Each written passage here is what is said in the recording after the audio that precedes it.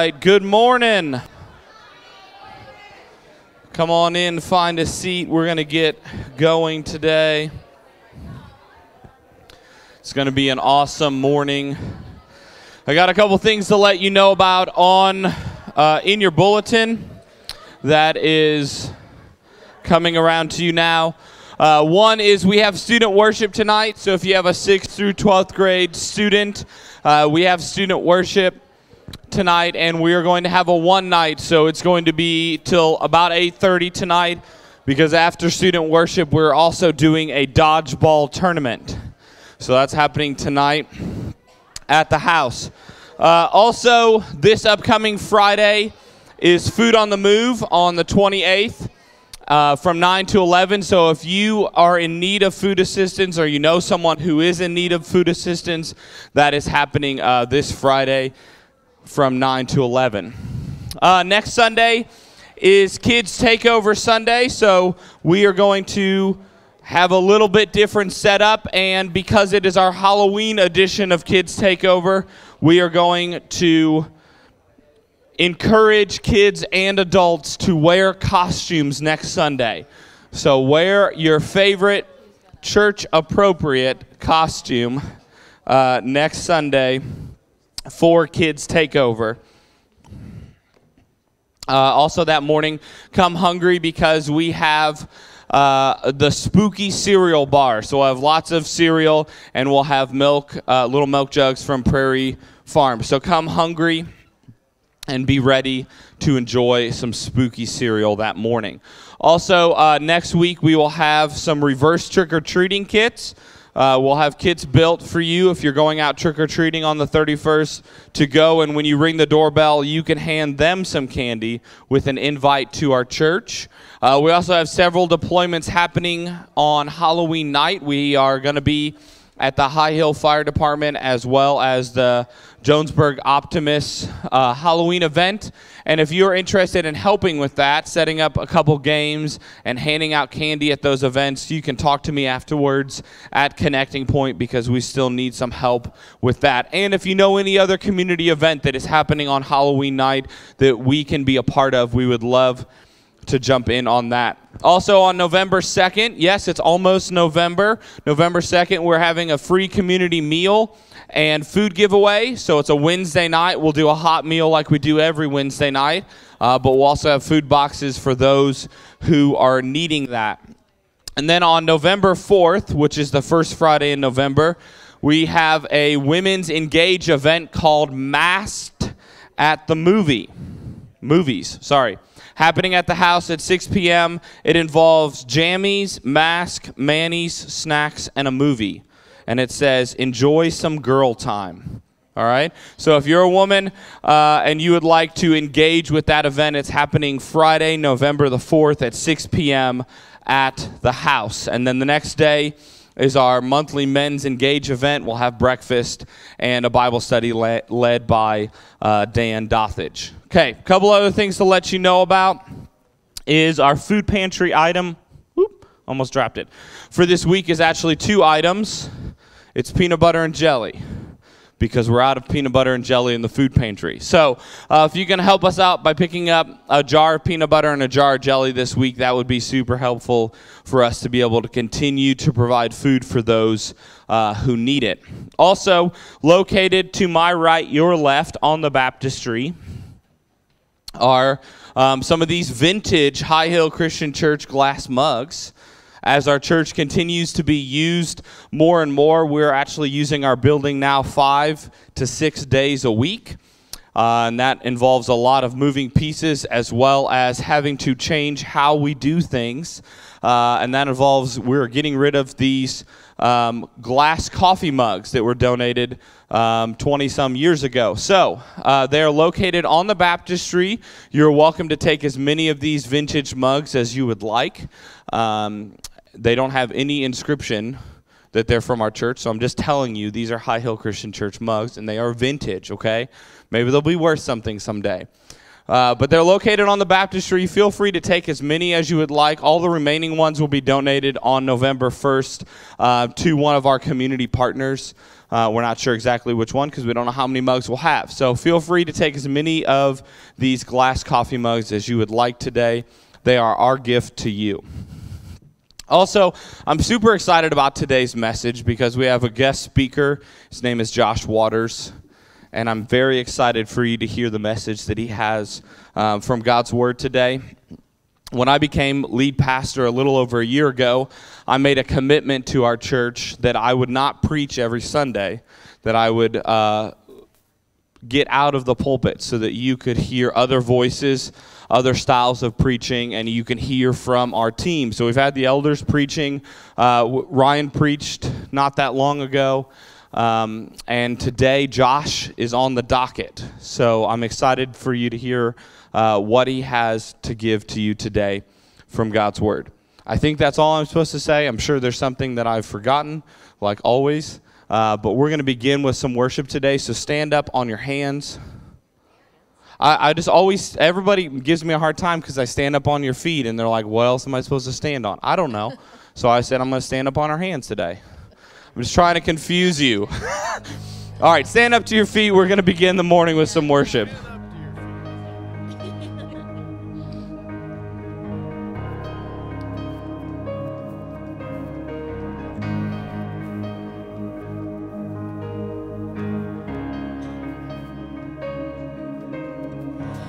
Just one word, you claim the storm that surrounds me. Just one word, the darkness has to retreat. Just one touch, I feel the presence of heaven.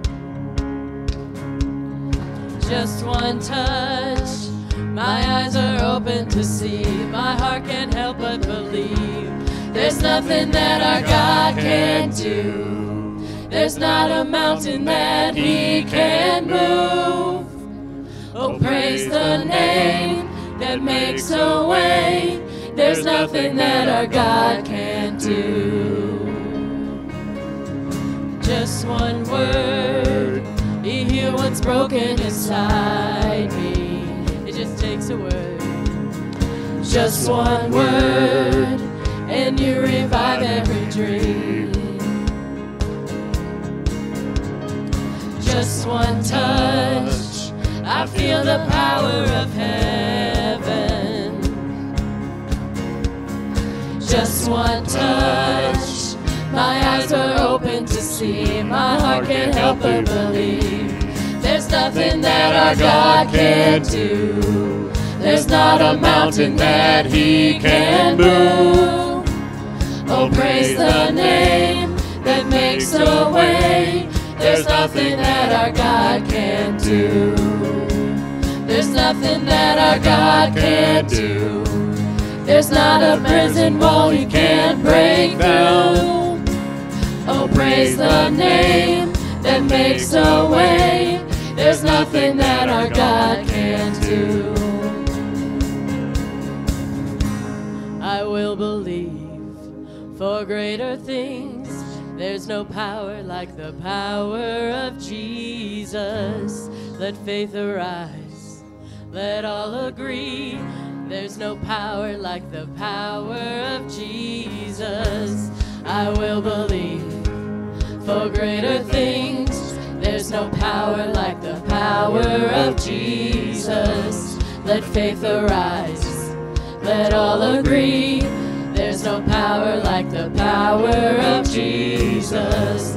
I will believe for greater things. There's no power like the power of Jesus.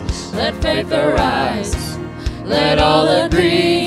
There's no power like his power. There's nothing that our God can't do.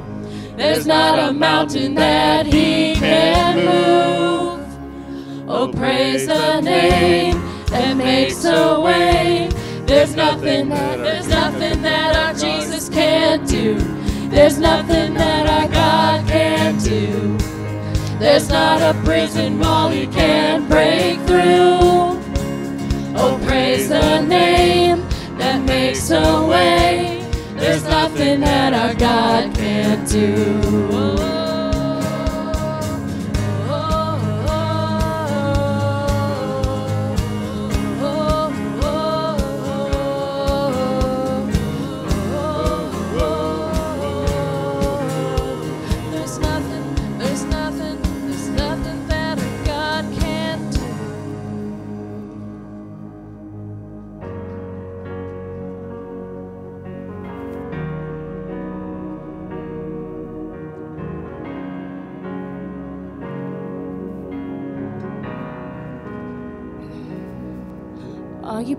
Past the point of weary? Is your burden weighing heavy? Is it all too much to carry? Let me tell you about my Jesus. Do you feel that empty feeling? Cause shame's done all it's stealing, and you're desperate for some healing. Let me tell you about my Jesus. He makes a way where there ain't no way. Rises up from an empty grave. Ain't no sinner that he can't save. Let me tell you about my Jesus. His love is strong and his grace is free. And the good news is I know that he can do for you what he's done for me. Let me tell you about my Jesus. Let my Jesus change your life. Hallelujah.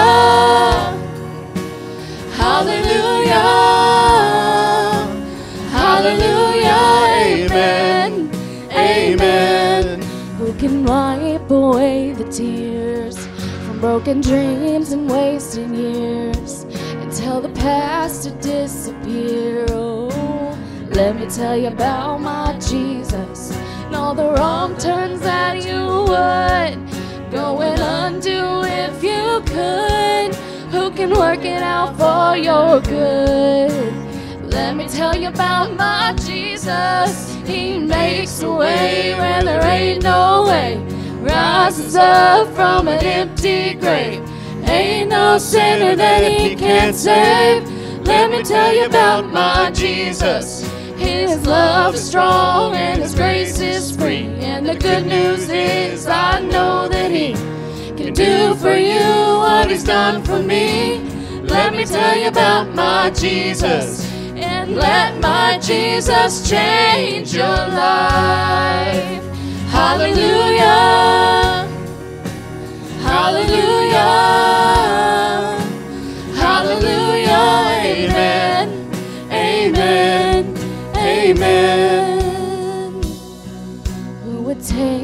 Cross to Calvary, pay the price for all my guilty?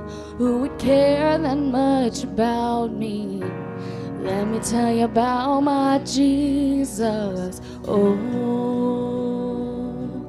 He makes a way where there ain't no way. Rises up from an empty grave. Ain't no sinner that He can't save. Let me tell you about my Jesus. His love is strong and His grace is free. And the good news is I know that He can do for you what He's done for me. Let me tell you about my Jesus. And let my Jesus change your life. Hallelujah. Hallelujah.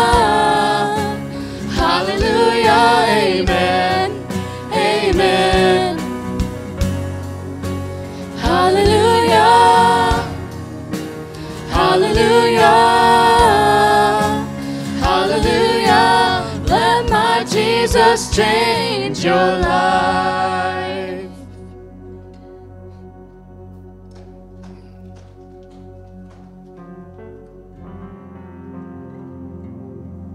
We're going to prepare our hearts and minds for communion with this next song.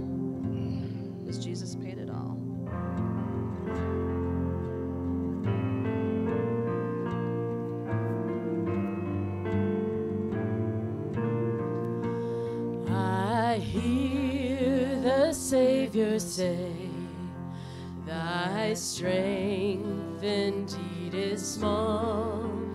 Child of weakness, watch and pray. Find in me thine all in all.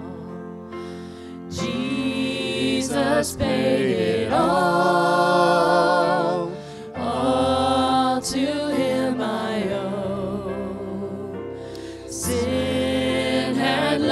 the crimson stain, he washed it white as snow.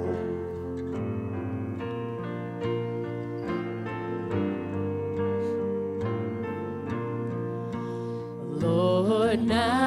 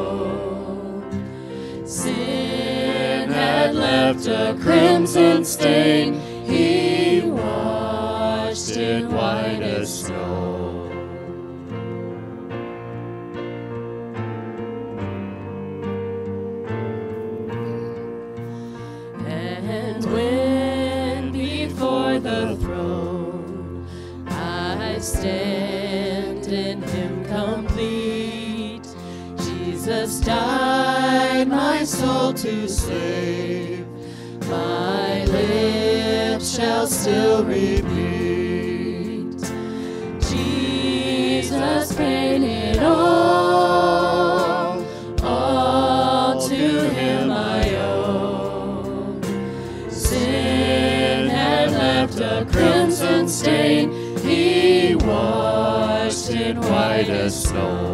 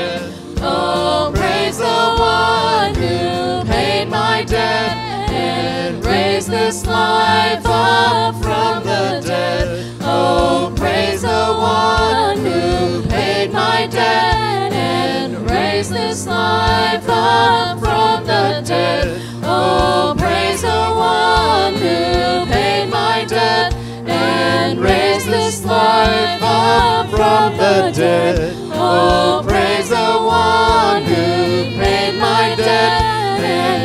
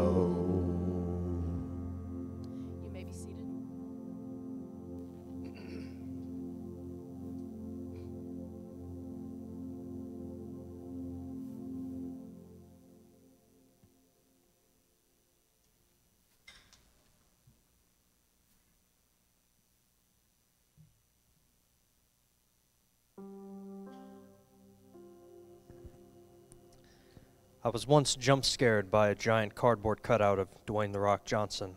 I was walking into an Applebee's, turned to the left, and ah! There he was.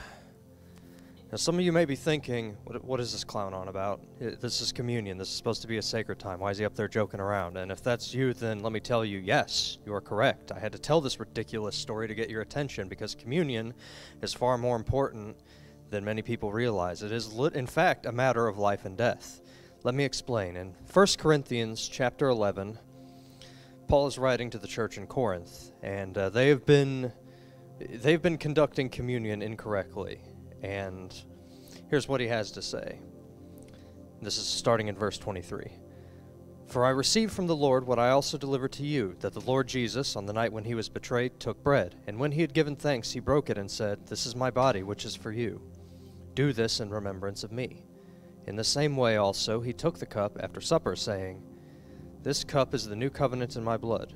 Do this, as often as you drink it, in remembrance of me. For as often as you eat this bread and drink the cup, you proclaim the Lord's death until he comes. Whoever therefore eats the bread or drinks the cup of the Lord in an unworthy manner will be guilty concerning the body and blood of the Lord. Let a person examine himself then, and so eat of the bread and drink of the cup. For anyone who eats and drinks without discerning the body eats and drinks judgment on himself. That is why many of you are weak and ill, and some have died. But if we judged ourselves truly, we would not be judged. But when we are judged by the Lord, we are disciplined, so that we may not be condemned along with the world. The sacrifice of Jesus Christ is, I would argue, the most important thing to have happened in human history. The, everything was leading up to that event, and this remembrance, this is not some cheap ritual we do every week because just because. There's a reason for it. We remember the sacrifice of our Savior, the precious blood of Jesus Christ. And if we ever forget Jesus, then that's going to leave a massive opening for Satan to come in and take his cheap shots. You may forget that you're forgiven and then carry around the weight of sins on your back like a 10 ton load of bricks. Or you may forget that we're one body and we're supposed we're brothers and sisters and we're supposed to love one each love each other as a family. And also, we drink and eat so that we, re- we re- remember that Jesus died, yes, but we also remember that he rose and that one day he will return in glory and lead us to paradise. This bread represents Jesus' body, which was broken on the cross on our behalf. If you have it ready, take it with me.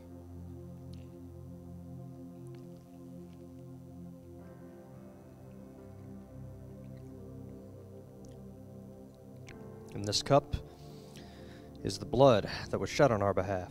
If you have it ready, drink it with me.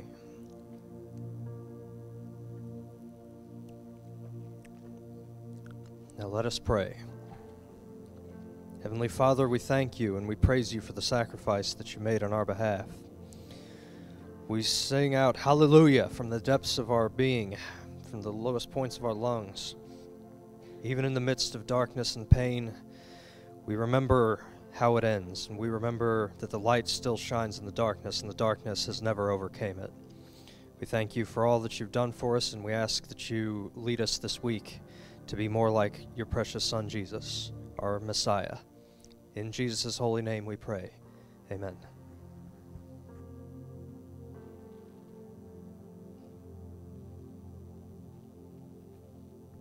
As we get ready to move into our time of offering, there'll be trays that come by here in a few minutes that you can drop your offering and tithes in. Uh, if you're joining us online, or if you it's more convenient for you, you can always give online by visiting highhillchristianchurch.org forward slash give, or you can mail a check to 852 Boonslick Road, High Hill, Missouri 63350. But as we move into our time of offering, I want to pause and take a moment to pray over a few people.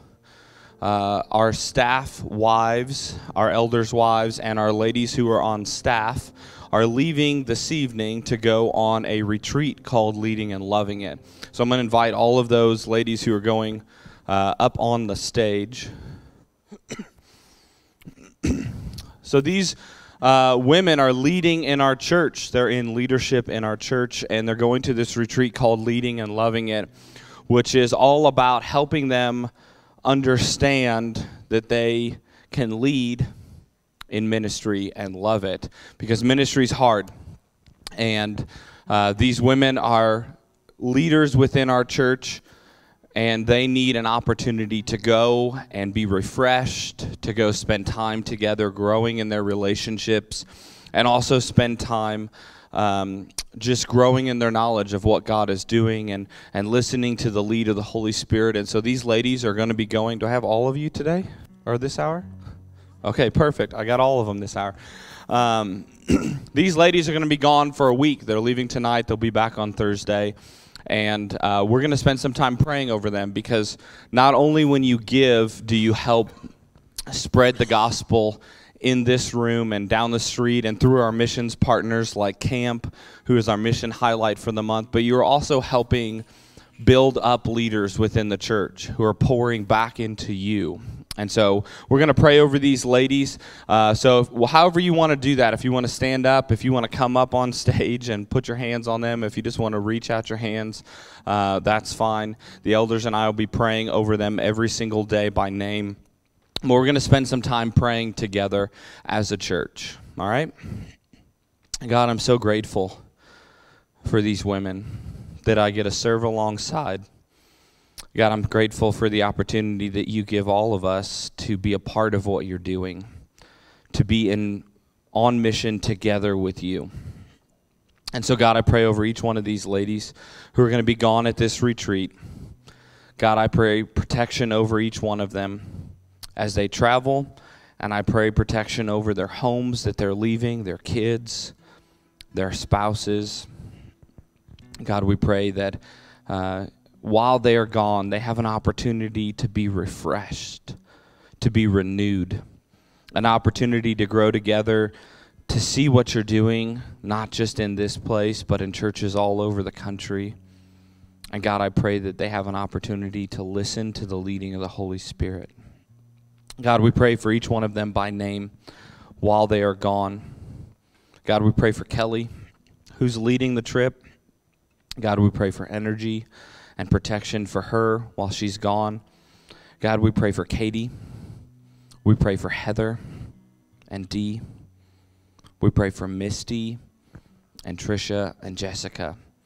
That while they're gone, that you will speak directly to them, that you will communicate to them what they need to hear, that you will give them the rest that they need, the encouragement they need to lead this church well.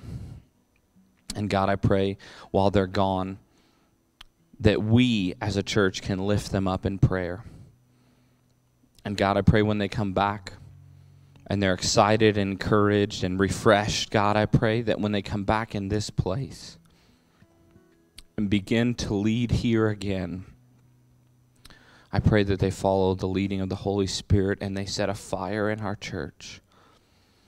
That you begin to move in a mighty way in and through them, even this week while they're gone that our church will follow you more closely and that you will lead us into times of refreshing as a church, times of growth, not just numerically, but spiritual growth in our people through the ministry of these ladies. We pray all this in Jesus' name. Amen.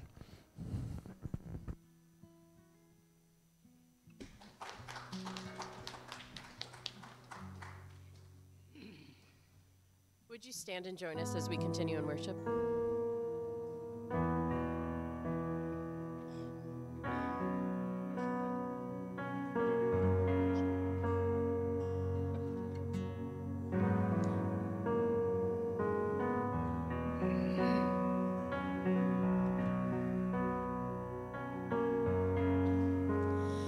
There's a peace I've come to know. Though my heart and flesh may fail, there's an anchor for my soul. I can say it is well. Jesus has overcome,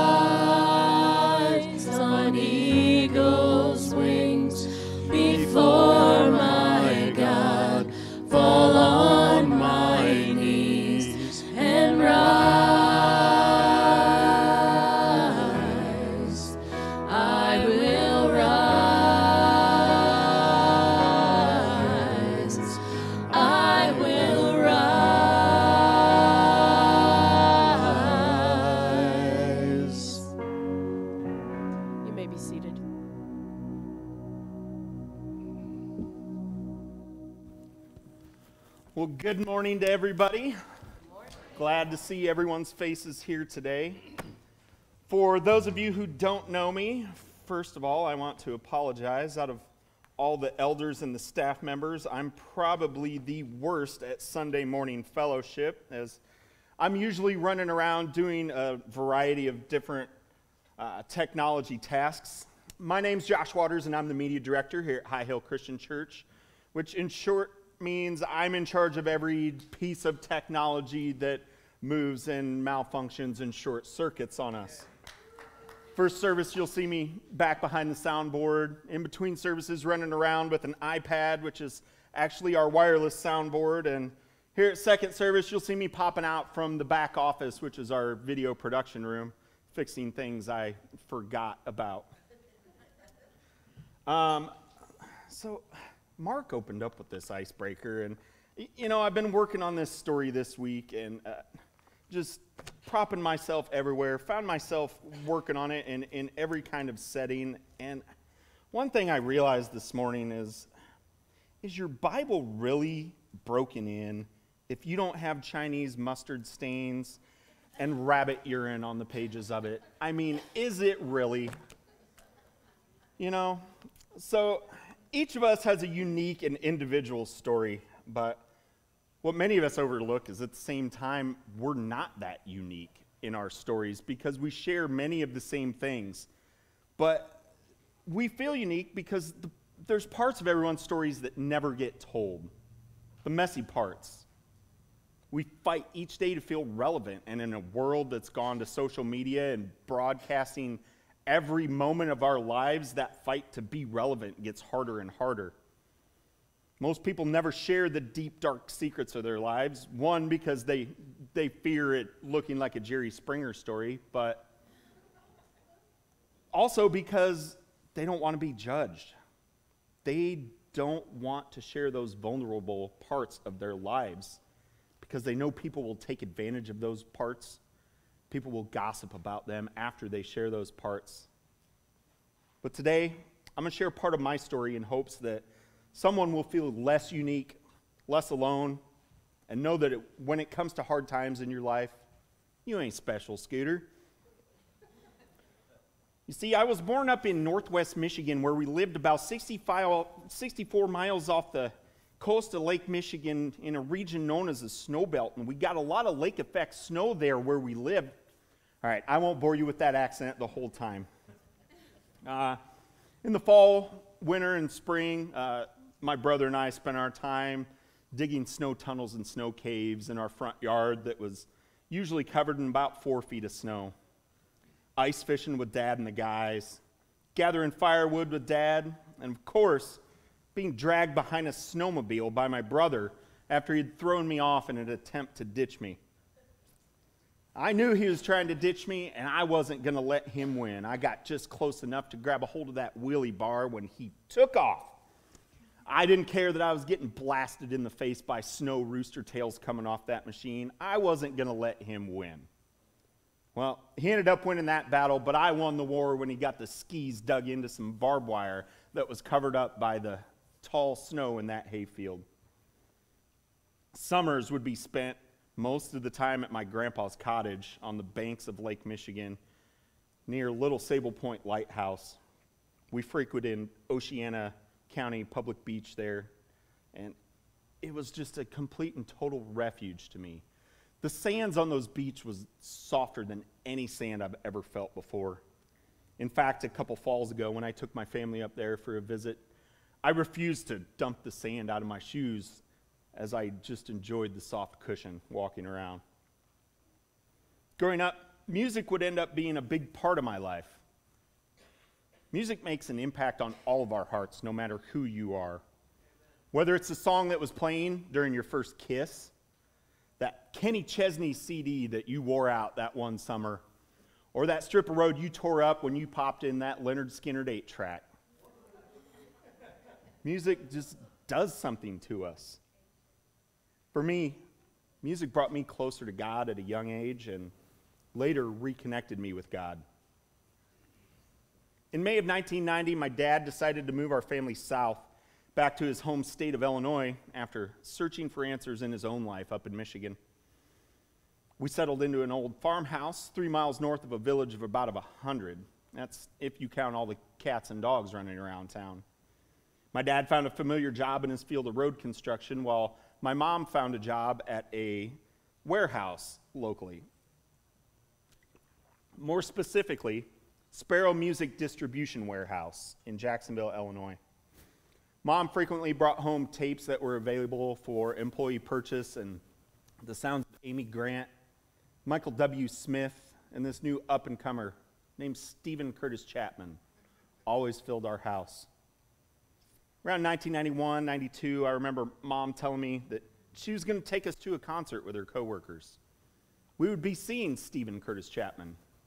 Now, while I had heard him around the house, in my young mind, I, he just hadn't reached the clout of Randy Travis and George Strait and this new country artist named Garth Brooks. He, he just wasn't there for me yet.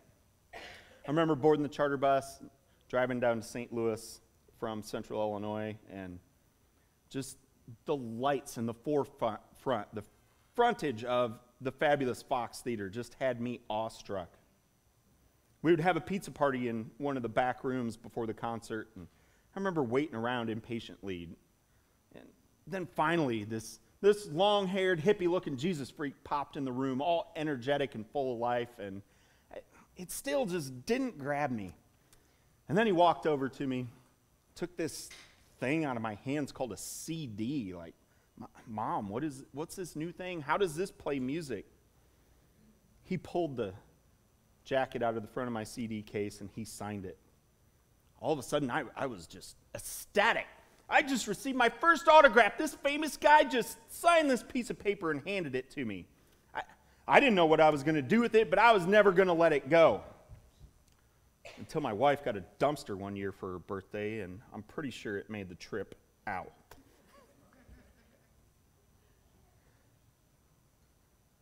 So th- that pizza party was, was a great touch, but we went into the concert, and I don't remember much of it, but that one half sentence still rings out in my heart today, just clear as day.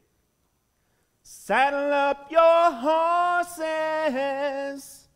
The opening lines of The Great Adventure rang out in the fabulous Fox Theater, and the reverb was like nothing I've ever heard before.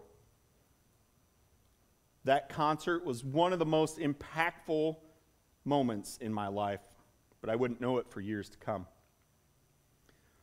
Months later, my mom would suffer a fall from a four story ladder in a warehouse, in the warehouse, after keeping a misstacked box from falling on a coworker below. Before my mom's body struck the concrete, she was able to grab a hold of a support on the ladder and break her fall. But the break of that fall and the jolt on her arm ended up in stretched nerves, tendons, and muscles in her arm, and would set off a 14 year long battle with phantom pains, disabling depression, and dependence on a new miracle pain medication that we've all become familiar with Oxycontin. Now, not to bounce around in my story, but I've got to go back a little bit to let you know where my walk with God started. See, mom would drop us off at the babysitter up in Michigan before she went to work. We kids would all walk together to school as a group while Esther stayed back behind at the house with the babies. After school, we'd all walk back, and mom would pick us up most days, except for Wednesdays. Wednesdays was Awana night at McBain Baptist Church, and you could not catch me missing one night from there. Sunday mornings, a church van would pull up our, in our driveway, and me and my brother Ralphie would waddle out there, hop in the van, and go to Sunday school. Mom and dad never went with us, but at that age, I never gave it any thought. Back in Illinois, mom would drop us off at Scottville Christian Church on Sunday mornings, where my brother and I would attend Sunday school. And after, we would walk the half mile down to grandpa's house where dad was sitting and chatting, drinking a cup of coffee. Our walk was, with Christ was never actively reinforced at home beyond the passive music playing. As years went by, I began to question to myself why my parents didn't go to church. And then I began to question out loud, but never really directly, which means I asked mom and not dad. Mom would never really tell me what happened, but would allude to dad being scarred by the church and not getting along with church people. As for her, she would just tell us she attended a different kind of church. Today, my dad cites the religious hypocrite and I'll never be perfect. If you're going to do something, do it all the way kind of excuses for not attending a church. I feel my dad believes in God, but like so many others, he's been hurt by the Pharisees among us. And he allows that to be a barrier to strengthening the most important relationship that any one of us can have in our lives. As for mom, I already went through that. You see, my mom's grandparents immigrated from Germany to Mount Pleasant, Michigan. They were Lutheran, beer with breakfast kind of Lutheran, every worst you can think of kind of Lutheran.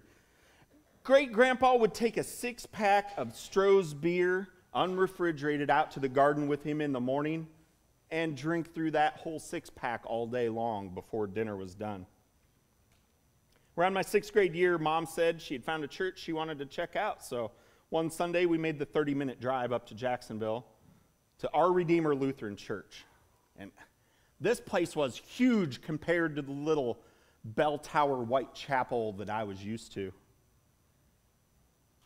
this was such a change for us, to say the least. And I think mostly because mom was right there beside us and actually walking with us, on Sunday at least.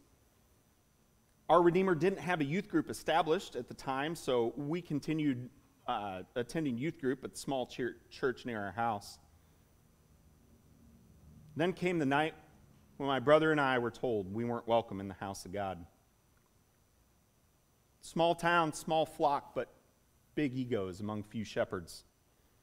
My brother, being a 14 year old freshman, was in the high school youth group class, and they were led by one of the elders of the church. By this point, word had got around that we were going to a different church on Sundays, and this particular elder took offense to it. So much so that he took it upon himself to corner my brother one Sunday night at youth group and question him why he's going to that kind of church. A decision essentially that had been made by our mother. The conversation continued, and it ended up with the elder telling my brother, Well, if you guys are going to believe in baptism by sprinkling, then you're not welcome in our church anymore. I remember going home that night, my dad getting told the story by my brother. And from my back room bedroom, I remember overhearing the anger in his voice as he called up that elder. See, he'd never really gotten along with this particular man through high school or the years after. And the words that flew out of his mouth in defense of his boys were nothing but hurtful and full of anger. Then he made a call to the preacher, the same preacher he had while growing up at that church. His tone of voice was different, a tone of loving inquiry. Well, is, this isn't what it was like when I went to your churches. Are my boys really not welcome? Well, if that's what the elder told you, then that's how it's got to be. Well, I guess I'll meet you in hell then, my dad said to him. So went the first scar in my walk with God. Life went on. Mom continued to take us to church every Sunday morning, and some mornings she had to drag us there against our will. But I never recall a Sunday morning where I didn't regret it. See, when we were there, we were poured into by many old sages taking us under their wings. The attitude displayed by Pastor Harold Woodworth as he routinely delivered the message, his touch as he blessed us during communion, and the contagious smile he always displayed were some of the adolescent experiences in my life that was just someone being Jesus to me. When we came of age, my brother and I attended confirmation classes. Now, in the Lutheran church, before being confirmed, you have to be baptized into the church, most commonly as an infant. But although my mom was raised Lutheran, one thing her and my dad agreed upon was to not baptize us as infants with the belief that we had to be old enough to make our own decision and be a meaningful decision. So, before being confirmed into the Lutheran church, my brother and I, as a preteen and teen, were baptized into the Lutheran church and later confirmed. We were there every Sunday. My mom was our driving force behind what we knew as Christianity. But even though we attended regular church services, we weren't raised in the church. There was no reinforcement of those beliefs and statements taught to us at home beyond the Sunday message. Knowingly living under a low parental income and not being in the position for any scholarships, I, I knew I had to find some kind of plan for attending college financially. So, my junior year in high school, I started talking to recruiters and gathering information. And I ended up being wooed by the Illinois Army National Guard recruiter with such incentives as 100% tuition paid, GI Bill puts cash in your pocket every month, and oh, I can get you an $8,000 signing on bonus. Those were big things for a 17 year old. So in February of my junior year, 2001, mind you, I enlisted with the Illinois Army National Guard. That summer, August 2001, I started basic training, returned to high school. In May of 2002, graduated. October of 2002, I graduated from advanced individual training at Fort Gordon, Georgia, where I specialized in Army communications. April 21st, 2003, the day after Easter, at the age of 19, I stood on the banks of the Tigris River in the middle of Baghdad. I remember watching the shock and awe as a first grader from Desert Storm. We watched shock and awe from this war the previous month from our antiquated World War II barracks at Fort McCoy, Wisconsin. I was finally there. We'd learned that evening that our company had just become the first military police company to establish a base within the city limits. We had just made history. Our company's mission was to dismantle, rebuild, and train a new Baghdad police force. My mission? I soon found out that I would be stuck in the office, known as the Tactical Operations Center, as the night shift radio and telephone operator. I wasn't happy with my assignment. I had a chip on my shoulder. I, I was 19 in the prime of my life. How was I going to make my mark on the world in this war being stuck in some office in the dark when there were curfews in place and the, the people of Baghdad feared us? They weren't going to break our curfews. I soon found out I was wrong. Things changed. I made my mark with my company, talking them through different battles, fixing their radios after they repeatedly broke them, diagnosing their radios over the air, knowing certain sounds, and knowing each person's individual pattern of what they like to break each week, each week for me. I soon was known by the call sign Excalibur TOC. I was the voice in the darkness. In February of 2004, I was able to rotate home on leave and surprise my mom for her birthday, which was probably one of the biggest highlights of the whole deployment for her. After my two weeks at home, I made my way back to Baghdad to join up with the rest of the company to what we thought was going to be a wrap up to our mission and soon head home for good. Being back two weeks, I had one night off in the TOC and I joined up with my buddy Tucker. He said he had a surprise for me. He pulled out a bottle of Grant's whiskey and some orange Fanta in a pull top aluminum can that he had bought at the market that day. We had a good night that night. I slipped off to bed late to reset to night shift for my next day's shift on the radio. But I was awakened at about 0400 that morning. It was the master sergeant who headed up our night shift there in the TOC. So many thoughts went through my head in an instant. Why is the old man waking me up? Oh no, he must have found out about our adventures tonight. I am toast. You see, Drinking, whether you were of age or not, was not allowed under General Order Number One. But instead, he said, Specialist Waters, in an unsteady voice, you need to call home. We made our way to a rooftop where a group of soldiers were standing around waiting in line to use the sat phone, rotating calls in and out back to loved ones. And out of nowhere, the crusty old master sergeant pulls a sat phone out from the group. He handed it to me. I noticed the, the input code was already in it. I didn't have to use my own calling card. I just jumped to the head of the line of the sat phone, which was a big deal for us in, in those times of the war. Dialed the number home, and a familiar voice answered that I wasn't expecting. It was my dad's sister. Aunt Levon, it's Josh, I said, trying to get my greeting out as we did with our sat phone calls because they were always delayed by at least 10 seconds. So we had to let the person know, we're there, we're there, don't hang up. Hang on. Let me get your dad, she said.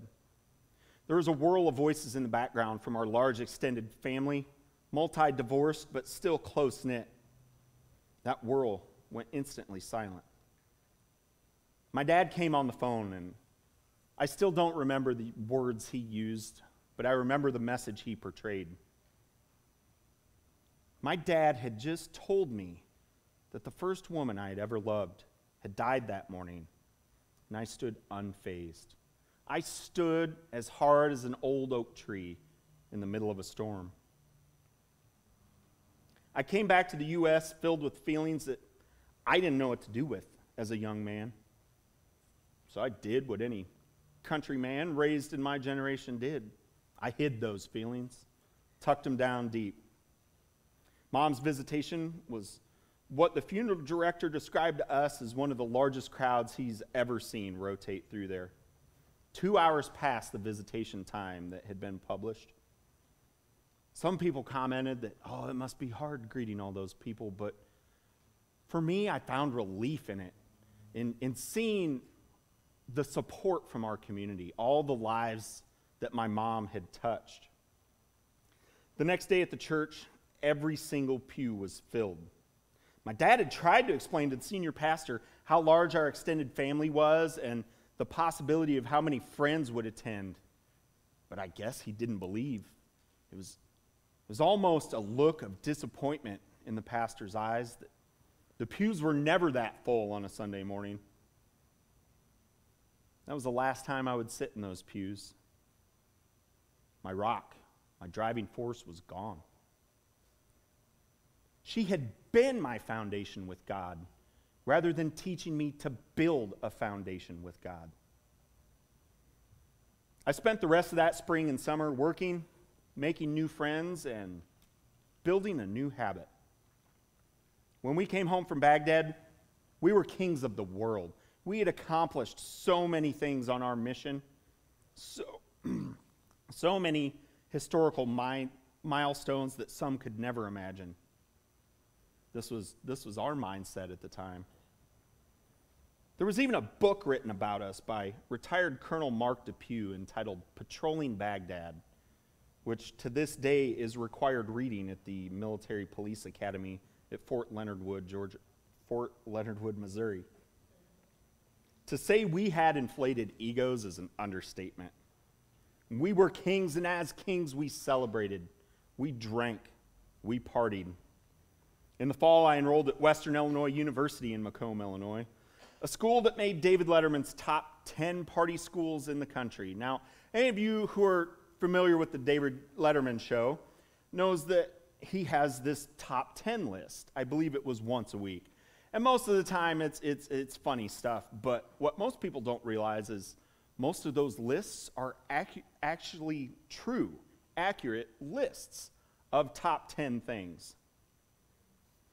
Being a 21 year old freshman, fresh back from war, just having buried your mom and having little guidance in the world is just a dangerous combination.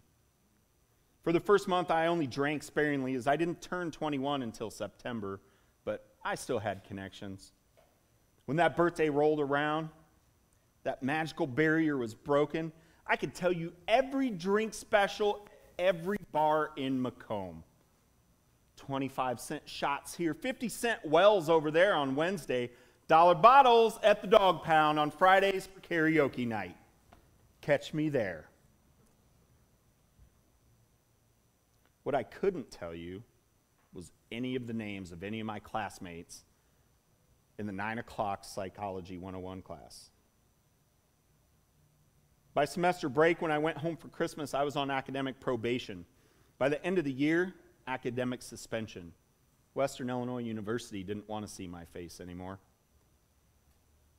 I had officially experienced my first major failure in life that was completely preventable by me and it did not sway me at all. So I returned home to enroll in the EMT course at our local community college the next fall that I had had to cancel out of prior to my deployment. I told my dad I'd change my focus from computer science to EMS. I, I think that's the way I want to go instead. Honestly, I don't know to this day if he knows the full truth. During my clinical hours that I had to go through in the ER, I met some girl there, started dating her. Although at the time, each of us was just as broken as the other, and neither were looking for anything that resembled a solid relationship. I dated this girl for about three or four months before I went off to what the National Guard calls annual training. Three weeks in Italy. I jumped on that tour like a pack of dogs on a three legged cat. I didn't care that I was doing nothing but driving the short bus back and forth to the base. When I got back, I moved out of my dad's house and moved in with my girlfriend and her daughter. I started going to church with her there at her small town and eventually learned that her preacher had grown up in my hometown and went to the same small church that my brother and I were told we weren't welcome at. I don't know if he knew the backstory, but I became a master mason in about 3.4 seconds and built a wall that I was not going to let be broken down. I never did feel open within that church.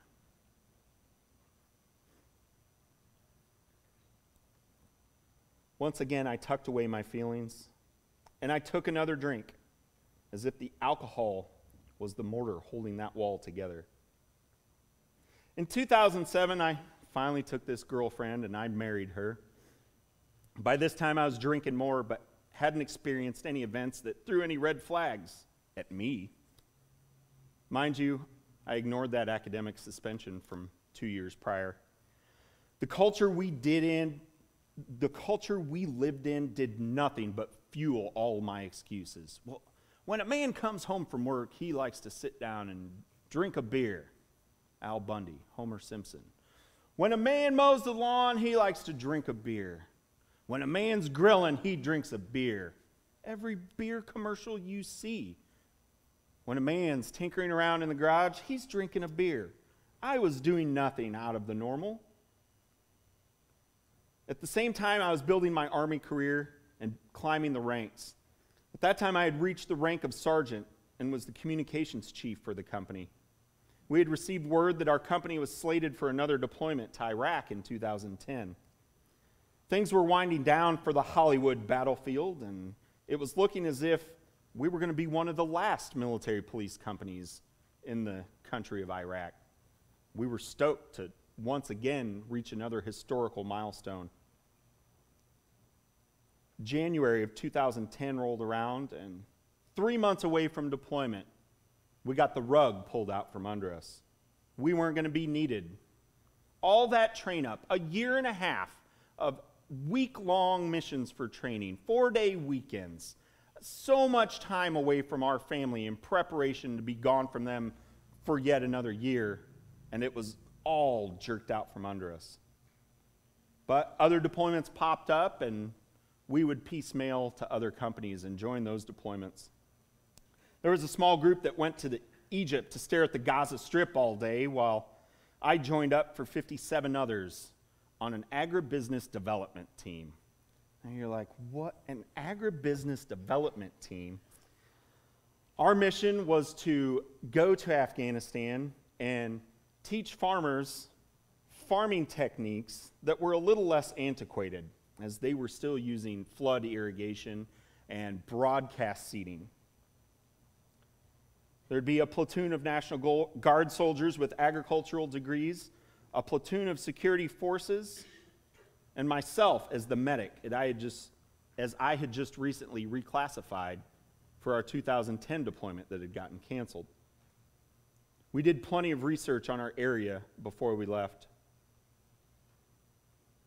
We learned we'd be going to Kunar province and learned that it had become one of the deadliest provinces in what would be a 20 plus year war.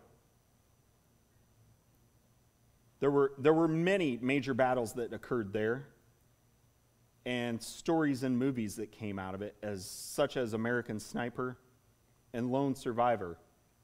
There's even a National Geographic documentary named Restrepo, live filmed in Kunar, where the platoon's medic died on a mountainside while treating casualties.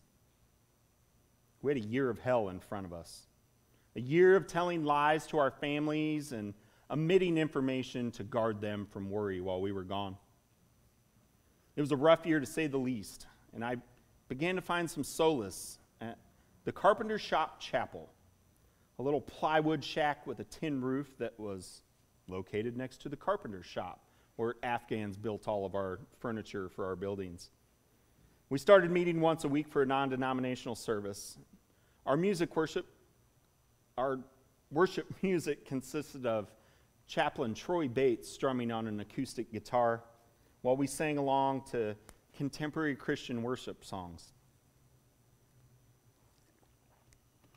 This was the first time I had experienced CCM since the early 90s, and the first time I've experienced it at all in a church setting. I didn't know the songs that we were singing, but they reached deep into my soul. Until this point, I had never sang anything but hymns accompanied by an out of tune and out of tempo piano. As different units rotated in and out of our base, our fellowship transformed. And when Air Force Chaplain Randy Croft joined with us, there was just a, a, another spark that was ignited. Our services were filled with even more energy in life than before, and our brotherly bonds were strengthened by weekly Bible studies. By the time we re- returned home, though, I felt nothing but pain and brokenness. As a medic, I had witnessed some of the most horrific and gruesome sides of humanity. I'd spent countless hours treating some of the most seriously wounded on the battlefield, helping it up at the forward surgical team.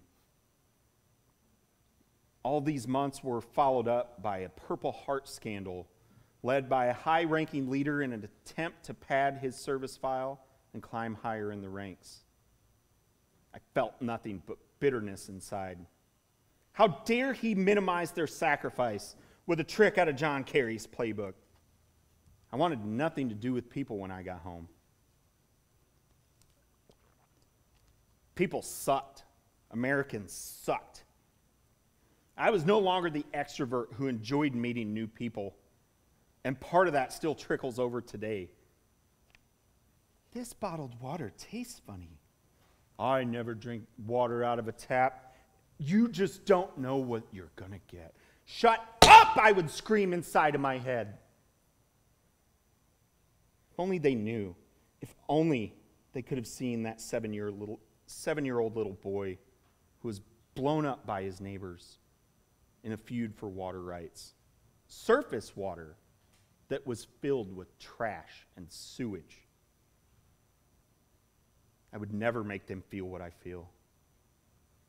I can never, they can never understand the things I've seen. I trek deeper down the road of hiding my pain with mind numbing drunkenness.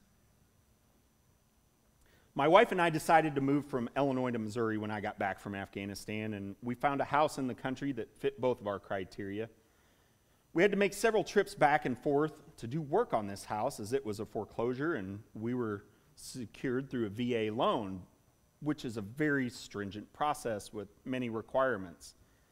Basically, the selling realtor was tired of sitting on this house and agreed to let us essentially squat on it and do work on it as we were coming up on our closure date with the agreement that if we didn't close, we were out any money and work that we put into it.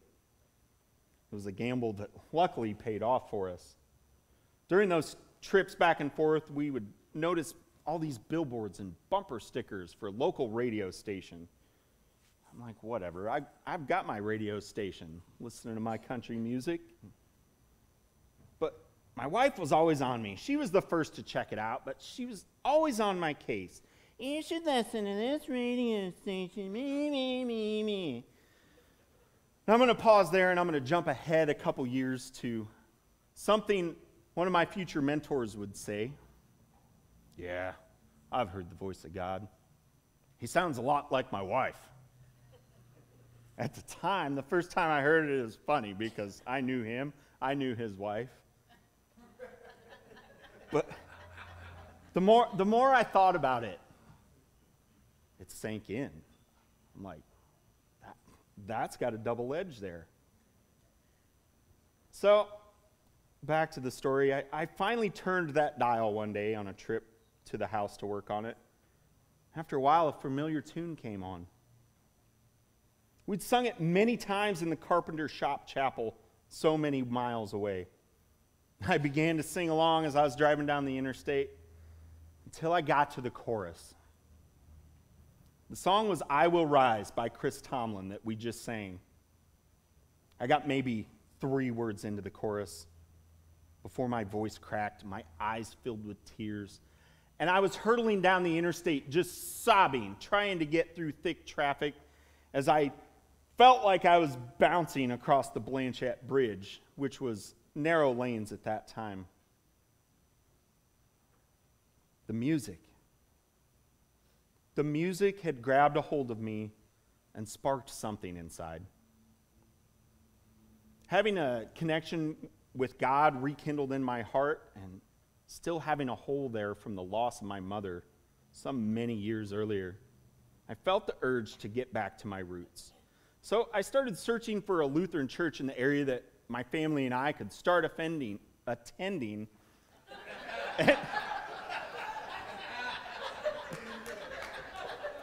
that my family and I could start attending and rebuild those connections. None of them seemed to fit that hole. Nothing filled that gap. One day, my wife, here she came again. She'd found a church that she wanted to check out and attend. She'd attended a couple times without me on weekends I was working. So finally, reluctantly, I trudged in the door with her one Sunday when I was off work. Kind of had a chip on my shoulder. I didn't want to like the church. It, it, it wasn't what I was looking for, but it was what I needed. The worship service started, and it was all familiar songs. I, I don't remember any of them in that particular song set, but I do remember not being able to sing most of them due to being so filled with emotion from the Holy Spirit that day. Now, although I had reconnected with God, I continued drinking.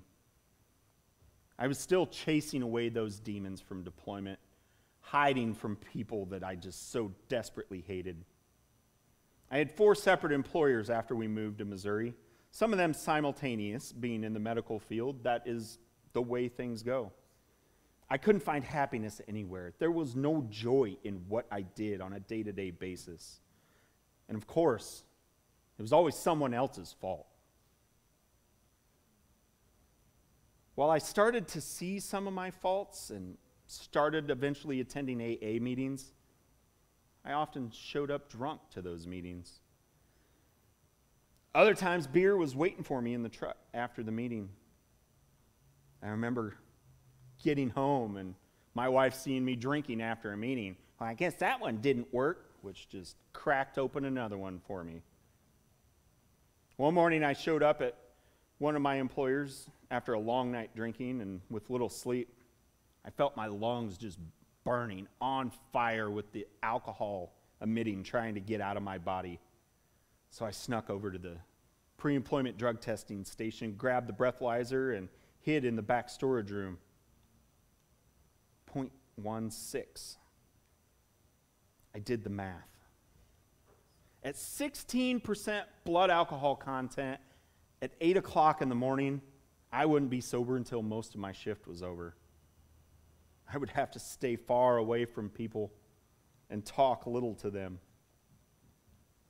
Although I had this red flag staring me right in the face, I still wallowed in my own filth and laziness.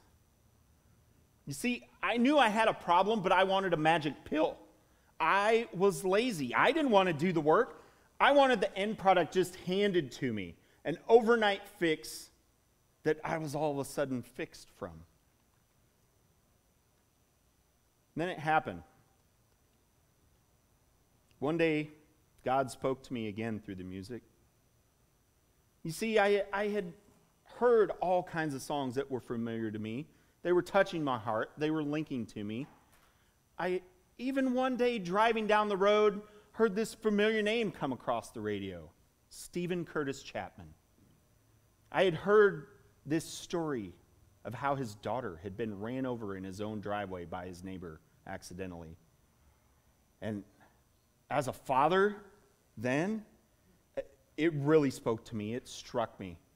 It really made a connection even more. But it still hadn't pulled me back until I heard another song one day by Sanctus Real entitled Lead Me. Now I want to read to you the first verse and chorus of this song. These words that sank so deep into me. I look around and see my wonderful life, almost perfect from the outside. In picture frames, I see my beautiful wife. She's always smiling, but on the inside, oh, I can hear her saying, Lead me with strong hands. Stand up when I can't. Don't leave me hungry for love. We're chasing dreams, but what about us?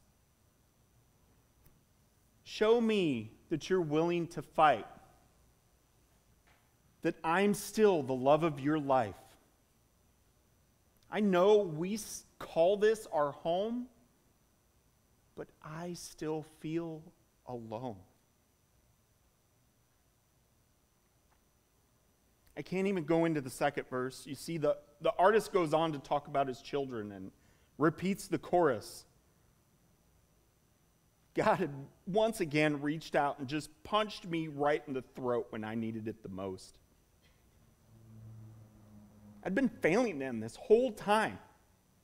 I was the one who was supposed to be providing for them and leading them, yet I was nothing more than a burden the deaf mute, the master mason who had walled himself into a hobbit hole on the couch. And I'm sorry for that.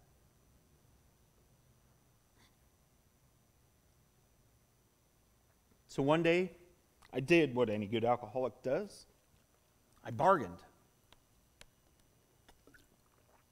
I drove down to the corner store, bought two tall boys instead of my normal eight pack of 16 ounce bottles that would disappear in one night.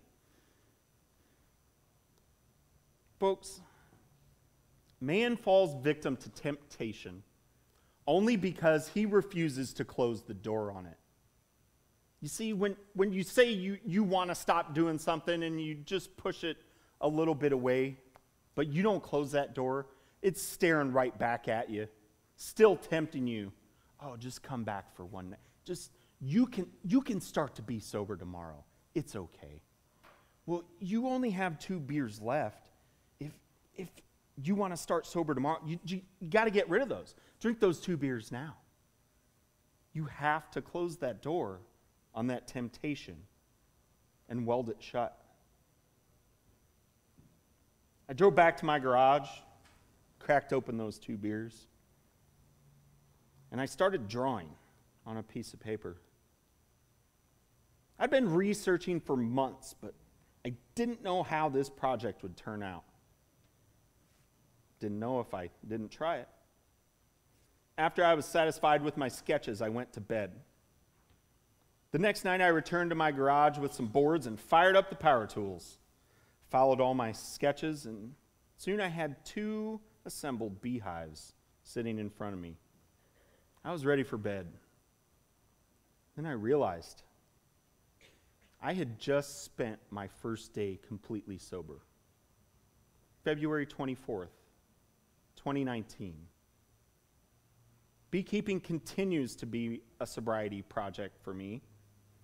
My fight against idle hands filled with a can are replaced with sore fingers filled with bees. It's my calm, my solace my escape with God. Now, that escape has become more and more recently as I struggle through other things going on in life. As we move into our time of reflection today, I would like to take a look at Matthew chapter 14, verses 22 through 33, where the story of Jesus walking on water is told. Man, what a miracle to witness a man walking on water. That's, that's the, the story that most people get. It's this miracle. We, we should believe in Jesus because he's miraculous. But I think there's other things within this story that we overlook. To give you perspective on the story here, Jesus had just finished feeding the 5,000 and told his disciples to cross over the lake while he dismissed the people. Now, I don't know if they got a late start or if this was a huge lake or what, but about 3 o'clock in the morning, the text tells us, a big storm arose out of nowhere. Now, in my, in my childish imagination, I kind of imagine this storm as this Lieutenant Dan kind of hurricane.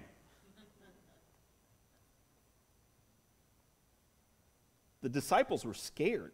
First of all, they're trying to ride out this storm in a little dinghy, just rowing their hearts out. And then all of a sudden, this ghost comes out of nowhere, walking across the water. What, what were they going to have happen to them? This boat was surely going to sink and pull the disciples down with it. But everyone in that boat had some kind of comfort in staying in that boat, that same boat that was going to pull them to the bottom. Even after they knew it was Jesus, they didn't want to get out of that boat.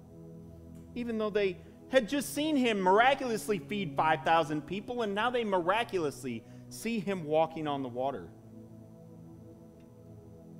But Peter, oh, Peter. Verse 27 Jesus spoke to them. Don't be afraid. Take courage. I am here. Church, He's there for us. He's always been there for us and always will be there for us.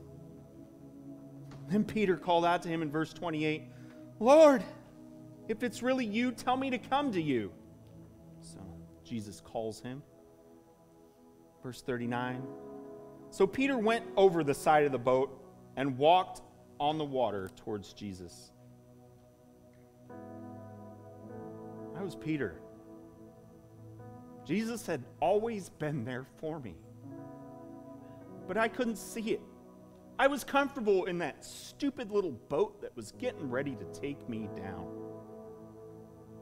All I had to do was reach out to Jesus, and He had me.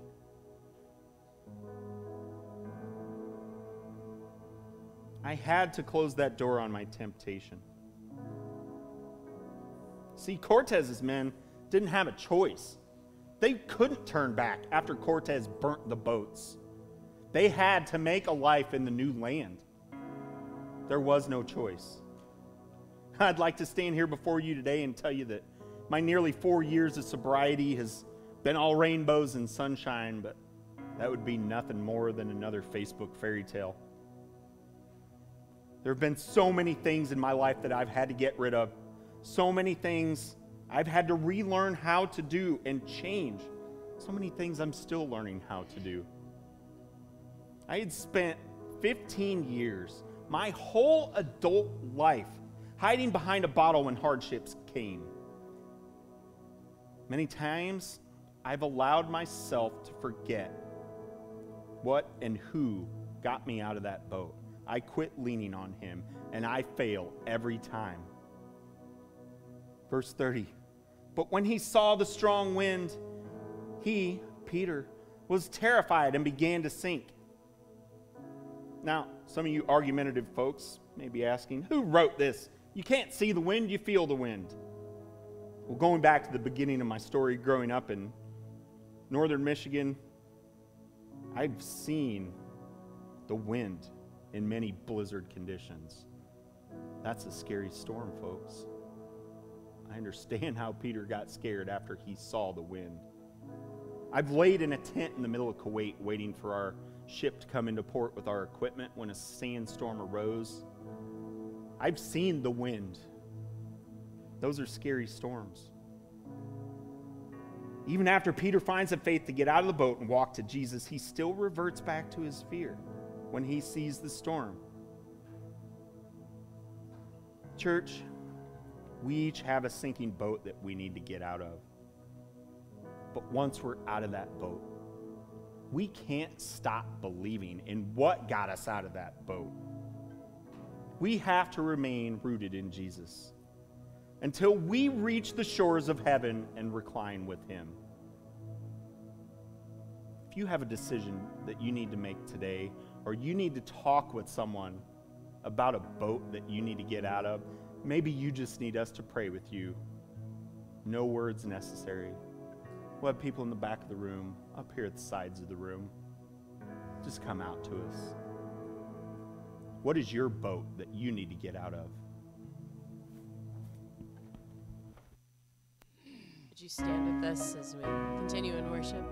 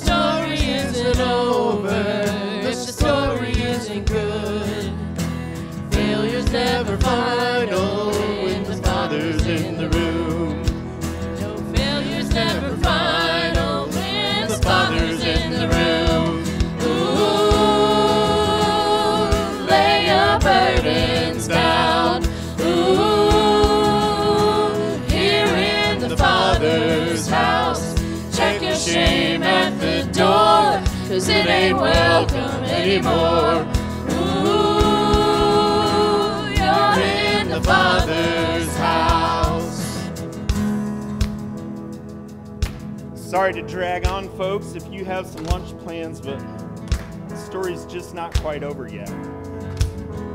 First of all, all of our stories are still being written. Second of all, I think there's some of you that just haven't got any value from this message yet. A few of you may have felt my story deep in your soul as you've taken the same steps as I have failing the whole way. Some of you may have related to my story and seen how if you took just one wrong turn back on this day, you would have been right there with me. But there's some of you that couldn't be more checked out. As you feel you all have it all together, you feel like you don't have a boat that you need to get out of. But for some of you, your boat is judgment. Church, it's an outright shame that an alcoholic feels more comfortable on a bar stool than he or she does sitting in a pew or in one of these seats today. And that's on us. Like the Pharisees in Matthew 9, verse 11 and 12, you secretly, and sometimes not so secretly, look down on those who have committed certain sins. See, Matthew 9, 9 through 13 is where Jesus calls Matthew, the tax collector, to follow him. And in turn, Matthew invited Jesus, some other tax collectors, and disreputable sinners to come have dinner with him. I really like how verse 11 is written in the New Living Translation. But when, when the Pharisees saw this, they asked his disciples, Why does your teacher eat with such scum? But in verse 12, Jesus turns when he hears this and he said, Healthy people don't need a doctor, sick people do. There are some of you in this room and online who never would have let me in this door three years ago if you would have heard my story then. Church, when we assign weight and look down to on specific sins, The sinner feels the weight of that judgment. It's heavy. That judgment acts as nothing more than a doorstop, keeping that door closed. No, not a doorstop, but 150 people holding that door closed, all the while looking back out those windows into the sinner's eyes, telling them that they're not worthy of the redemption of Christ. Church, if that's you today, if judgment is your boat, I want you to join with the rest of us. Take the shame that you should feel check it at the door. Church, let's prop these doors wide open and welcome all who are trying to come home. Let's bring them in to the loving redemption of Christ. Church, will you help me welcome the prodigals home?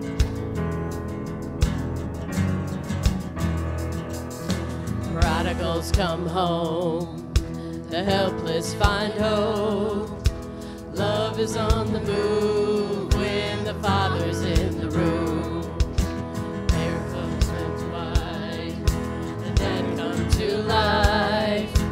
Love is on the move when the Father's in the room. Miracles take place, the cynical find faith.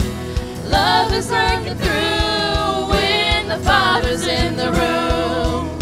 The Jericho walls are quaking, strongholds now are shaking. Love is in the room when the Father's in the room. Is breaking through when the Father's in the room. Ooh, lay your burdens down. Ooh, here in the Father's house. Check your shame at the door, cause it ain't welcome anymore. Ooh, you're in the Father's house.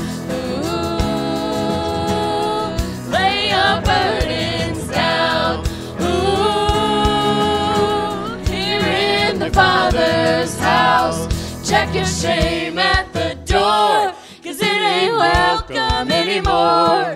Ooh, you're in the Father's house. God, I thank you for this church, for these people here today. I thank you for the opportunity to share my story. And I pray that it at least reaches in to help change one person's life. God, be with us all as we trek through this week. Help us to remember that sometimes the way we think, the way we talk, we don't know what the people around us are going through that our statements and our words may hold them back from getting better, from climbing out of their boat. Be with us all, God, as we go throughout this week. In Jesus' name I pray. Amen. Amen. You are dismissed. Thanks for being with us this week.